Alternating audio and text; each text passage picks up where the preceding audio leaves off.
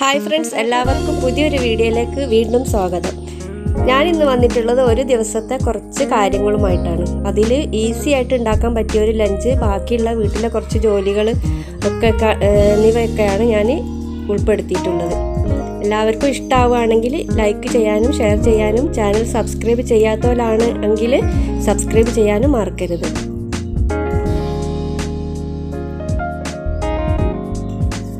രാവിലെ തന്നെ ഇക്കാക്ക് ചായ ഒക്കെ കൊടുത്തതിന് ശേഷം ഞാൻ ഉച്ചയ്ക്ക് കറിയിലേക്കുള്ള കർമൂസ കുത്താട്ടോ ചെയ്തത്. മുമ്പ് ഇവിടെ കർമൂസൊക്കെ ഉണ്ടായ സമയത്ത് ഒരുപാട് ഉണ്ടായിന്. ഇപ്പം എന്താ അറിയില്ല. ഇപ്പം അങ്ങനെ ഉണ്ടാവുന്നേ ഇല്ല. പിന്നെ ഞാൻ ബ്രേക്ക്ഫാസ്റ്റിന് ഈസി ആയിട്ട് അരമണിക്കൂർ കൊണ്ട് ഉണ്ടാക്കാൻ പറ്റിയ റവയുടെ ദോശയും പിന്നെ അതിലേക്ക് കറിയായിട്ട് ചന മസാലയാണ് ഉണ്ടാക്കിയിട്ടുള്ളത്. റെസിപ്പി ഞാൻ പെട്ടെന്ന് തന്നെ അപ്ലോഡ് ചെയ്യുന്ന കേട്ടോ. എല്ലാവരും എന്തായാലും ഉണ്ടാക്കി നോക്കിക്കൊണ്ട്. നല്ല ഈസിയാണ് ടേസ്റ്റുമാണ് എല്ലാവർക്കും ഇഷ്ടപ്പെടും. നമ്മൾ കുട്ടികൾക്കൊക്കെ പ്രത്യേകിച്ച് നല്ലോണം ഇഷ്ടപ്പെടും.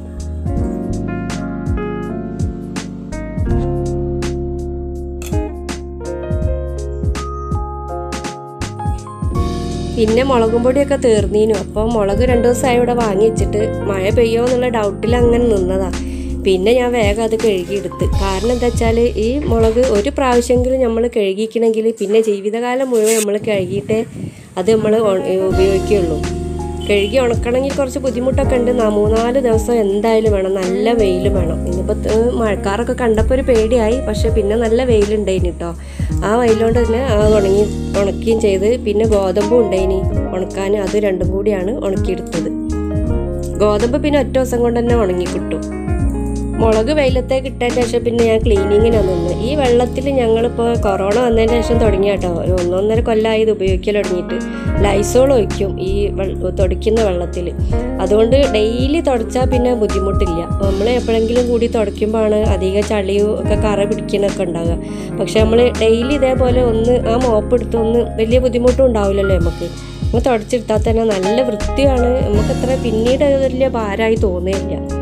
അതുകൊണ്ട് തന്നെ ഞാൻ ഡെയിലി അത് തുടച്ചെടുക്കും. അതേപോലെ തന്നെ മേശ ഞങ്ങൾ വാഷ് ബേസിന് വാഷ് ബേസിന് ഞാൻ രാവിലെ പല്ലൊക്കെ തേക്കുന്ന സമയത്ത് തന്നെ കഴുകും.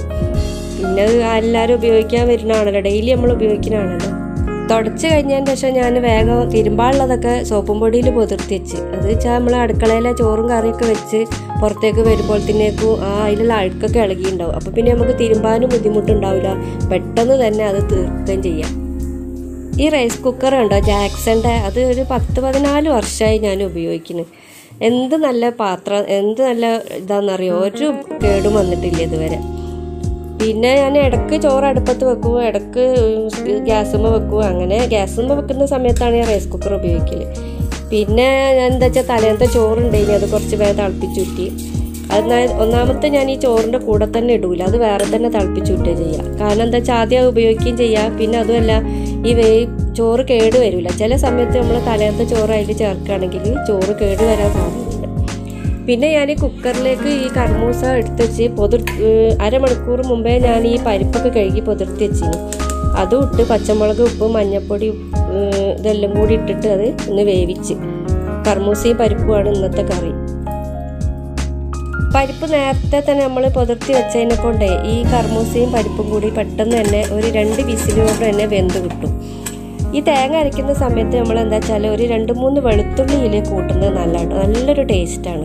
പിന്നെ ഞങ്ങൾ ഒരു ഈ കൊത്തവരോണ്ടാണ് തോരൻ വെച്ച് അത് ചെറുതായിട്ട് അരിഞ്ഞെടുത്തതിന് ശേഷം അതിലേക്ക് തേങ്ങ പച്ചമുളക് എന്നിവ ഇട്ടൊന്ന് ഒതുക്കിയിട്ട് ഇതിലേക്ക് ചേർത്തിയാൽ അതും നല്ലൊരു ടേസ്റ്റാണ് സാധാരണ നമ്മൾ കടുകും ഇതും ഇട്ട് വേവിക്കുന്നതിലും നല്ലതാണ് ഈ തോരൻ പോലെ വെച്ചാൽ ഇന്നത്തെ ലഞ്ചിൽ ഇപ്പോൾ പറ്റാത്തതായിട്ടുള്ളത് ഈ എണ്ണ മാത്രമേ ഉള്ളൂ. ബാക്കിയുള്ള എല്ലാം നമ്മൾ ഹെൽത്തിന് ഉപകാരമുള്ള സാധനങ്ങൾ തന്നെയാണ്. ഈ പച്ചക്കറി കറി വെക്കുന്ന സമയത്ത് ഈ വെളുത്തുള്ളി ചേർക്കുന്നുണ്ടല്ലോ അത് നല്ല ടേസ്റ്റാണ് നമുക്ക് അഥവാ എനിക്ക് മൈക്കാണ് അധികം മറന്നു പോകും ഈ മറന്നു പോകുന്ന സമയത്താണ് നമ്മൾ എന്താക്കി വറവിടൂലേ? കടുകും കറിവേപ്പിലൊക്കെ വറവിടുന്ന സമയത്ത് ഈ വെളുത്തുള്ളി ചെറുതായി അരിഞ്ഞതും കൂടി വറവിട്ടാൽ മതി. എന്തായാലും നല്ലൊരു ടേസ്റ്റാണ് ഈ പച്ചക്കറിയിൽ. ഞാൻ മുളക് പൊടി ഇപ്പോൾ ആദ്യമൊക്കെ മുളക് പൊടിക്ക് എന്തായാലും വേണ്ടിയിരുന്നു. ഇപ്പോൾ കുറച്ചായിട്ട് മുളക് പൊടിയൊന്നും ഇല്ലാതെ തന്നെ ഉപയോഗിച്ചപ്പോൾ അതും കുഴപ്പമില്ല നല്ല ടേസ്റ്റ് ഉണ്ട്.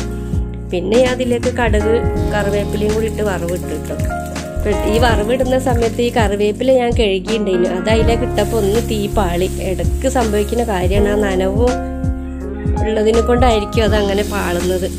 പിന്നെ ഞാൻ വേഗം തോരൻ വെച്ച് കടുക് ഇതൊക്കെ വറവിട്ടതിന് ശേഷം അതിലേക്ക് ഞാൻ ഈ കൊത്തവര ചെറുതാക്കി അരിഞ്ഞത് അട്ടുകൊടുത്ത് പിന്നെ അത് ഒരുവിധം വെന്ത് വന്നപ്പോൾ ഈ നമ്മൾ അരപ്പില്ലേ തേങ്ങയും പച്ചമുളകും കൂടി ഒതുക്കിയെടുത്തത് ഇതിലേക്ക് ചേർത്ത്. അങ്ങനെ പെട്ടെന്ന് തന്നെ തോരനും റെഡിയായി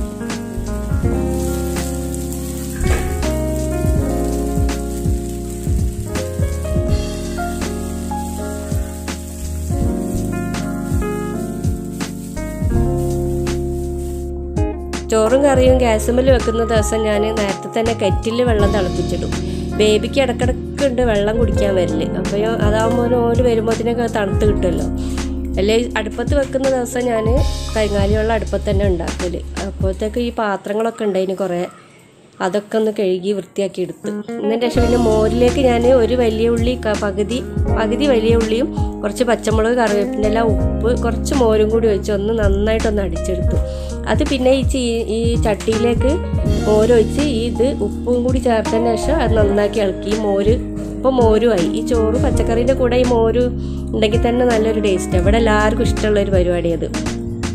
അതേപോലെ തന്നെ മോ മോര് കാച്ചലില്ലേ? ഈ കർമൂസ ഇളവനൊക്കെ ഇട്ടിട്ട് അതിന്റെ വാവക്ക് ഭയങ്കര ഇഷ്ടമാണ്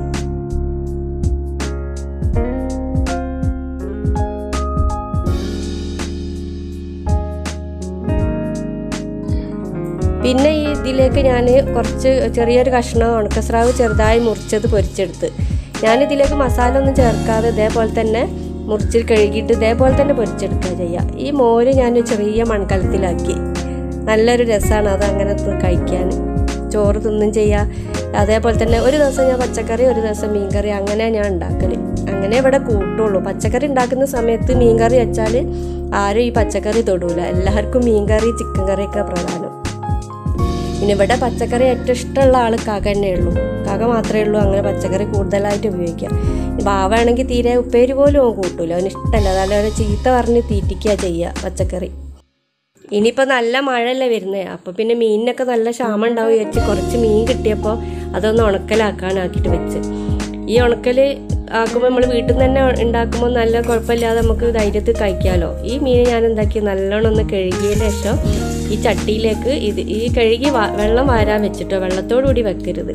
ചട്ടിയിലേക്ക് ആദ്യം തന്നെ ഉപ്പിട്ട് കൊടുത്തതിന് ശേഷം ഈ ഒരു ലെയർ ഞാൻ ഈ മത്തി അഞ്ച് മത്തി ഇട്ടതിന് അതിൽ മത്തിയിട്ട് ഇതേപോലെ അതിന്റെ മുകളിൽ കല്ല് ഈ കല്ലുപ്പാട്ടോ ഞാൻ അവിടെ ഉപയോഗിച്ച് ആ കല്ലുപ്പ് ഇട്ട് കൊടുത്ത്. അതിന്റെ മേലെ പിന്നെ ഈ മീൻ അത് ഓരോ ലെയർ ലെയർ ആക്കിയിട്ട് ഉപ്പിടും മീനോടും അതേപോലെ തന്നെ ആക്കി ഉണ്ടാക്കി.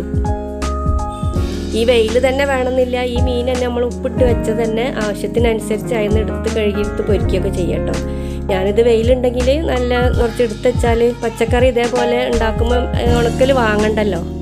അങ്ങനെ വിചാരിച്ചിട്ടാണ് ഇപ്പോൾ ഇത് ചെയ്യുന്നത്. അങ്ങനെ കുറഞ്ഞ ലാഭത്തിന് ഇത് മീൻ കിട്ടുകയും ചെയ്ത് അപ്പോൾ അങ്ങനെയാണ് ഇത് റെഡിയാക്കിയിട്ട്. ഈ ഉണക്കൽ ആക്കിയിട്ട് കുറേ ദിവസം വെക്കണമെങ്കിൽ തന്നെ നമ്മൾ എന്തായാലും രണ്ട് ദിവസം ഇതിങ്ങനെ വെച്ചിട്ടാണ് വെയിലത്തിട്ട് ഉണക്കിയെടുത്തേക്ക് കേട്ടോ. കക ചോറിനാ വരുന്ന സമയത്ത് റേഷൻ കടയിൽ നിന്ന് കിറ്റൊക്കെ കൊണ്ടുവന്നു. അതൊക്കെ പിന്നെ റെഡിയാക്കി വെക്കുക ചെയ്യുന്നത്. കഴിഞ്ഞ മാസം കൊണ്ടുവന്ന സാധനങ്ങളൊക്കെ ഉണ്ട്. പിന്നെ കുറേയൊക്കെ ബാക്കിയുണ്ട്. ഇപ്പം തന്നെ എടുക്കാത്തതൊക്കെ. പിന്നെ കുപ്പിയിൽ നോക്കിയപ്പോൾ അതിലൊക്കെ ബാലൻസ് കുറേ ഉണ്ട്. അപ്പോൾ ഞാൻ വിചാരിച്ച് അതിലേക്ക് ഫില്ല് ചെയ്യാതെ ആ ബാലൻസ് ഉള്ളത് തീർത്തിട്ട് എടുക്കാമെന്ന് വിചാരിച്ചിട്ട് ഞാൻ വേറെ ഒരു ബോക്സിലാക്കി വെക്കുക ചെയ്ത്. പഴയതിന്റെ മേലേക്ക് തന്നെ പുതിയതും കൂടി ഇട്ടാലേ എല്ലാം കൂടി നാശമാവുമല്ലോ അപ്പോൾ ഞാൻ എന്തായാലും ആ ബാക്കിയുള്ളത് തീർത്തിട്ട് പിന്നെ പുതിയത് ഇടാൻ വിചാരിച്ചിട്ട് അങ്ങനെ വെച്ചിരിക്കാം പിന്നെ ബാക്കിയുള്ളതൊക്കെ എടുത്ത് വെച്ചാൽ പിന്നെ അടുത്ത് തീരുന്നതിനനുസരിച്ച് ഇതിലേക്ക് ഫില്ല് ചെയ്ത് കൊടുക്കാമല്ലോ ഓരോ കുപ്പിയിലെ സാധനങ്ങൾ തീരുന്നതനുസരിച്ച് നന്നായി കഴുകി ഉണക്കിയിട്ട് വേണം ബാക്കിയുള്ള സാധനങ്ങൾ അതിലേക്ക് ഫില്ല് ചെയ്ത് കൊടുക്കാൻ കാരണം എന്താ വെച്ചാൽ അത് ഇപ്പോൾ കാണുമ്പോൾ തന്നെ നല്ലൊരു വൃത്തിയാണല്ലോ. പിന്നെ അതേപോലെ തന്നെ നമ്മളെ പണികളൊക്കെ നേരത്തെ കാലത്തെ ഇതേപോലെ തീർത്താൽ നമുക്ക് ഉച്ചയ്ക്ക് ശേഷം ഉച്ചയ്ക്ക് ആകുന്നതിന് ആകുമ്പോൾ നമുക്ക് ഫ്രീ ആയിട്ട് നമുക്ക് ഇഷ്ടമുള്ള എന്താ കാര്യങ്ങൾ എന്താ വെച്ചാൽ ചെയ്ത് തീർക്കുക ഇതെല്ലാ പണിയും ഒരുമിച്ച് നേരം വൈകി കഴിഞ്ഞാൽ നമ്മൾക്ക് ആ പണികളും തീരൂല. നമ്മളെ എന്താ ചെയ്യേണ്ട കാര്യങ്ങളൊക്കെ ബാലൻസ് ആയിട്ട് അവിടെ കിടക്കുകയും ചെയ്യും. ഈ വീഡിയോ നിങ്ങൾക്ക് എല്ലാവർക്കും ഇഷ്ടപ്പെട്ടു എന്ന് വിചാരിക്കുന്നു. Thanks for watching